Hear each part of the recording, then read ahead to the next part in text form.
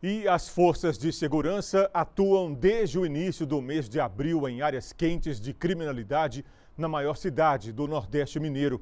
Teófilo Otoni foi palco da disputa de território entre facções ligadas ao tráfico de drogas. Aterror, aterrorizada com vídeos de ameaças, ataques a tiros em comunidades e a população no meio do fogo cruzado. Uma triste realidade em que o cidadão de bem fica acuado e um basta partiu do Gabinete de Segurança Pública do Governo do Estado, ampliando a presença da polícia nessas áreas de conflito. Até a delegada-geral Letícia Camboge, chefe de Polícia Civil de Minas Gerais, participa das operações. Este ano, a Polícia Civil ela já cumpriu 60 mandados de busca em Teófilo Otoni, somente neste ano. Já foram presos 81 indivíduos em Teoflotone e todas as cidades adjacentes.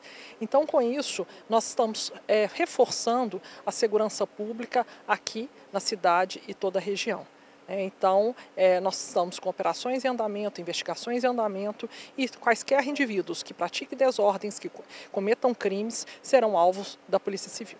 As forças de segurança estão trabalhando firmemente, as respostas já estão sendo dadas, os indivíduos estão sendo presos e a população ela pode ficar tranquila que as forças de segurança estão presentes aqui na cidade e em toda a região.